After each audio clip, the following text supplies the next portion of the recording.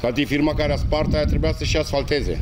Noi avem firma care lucră după noi, care asfaltează. Da? Care? Ca în România, frate. Unul sparge...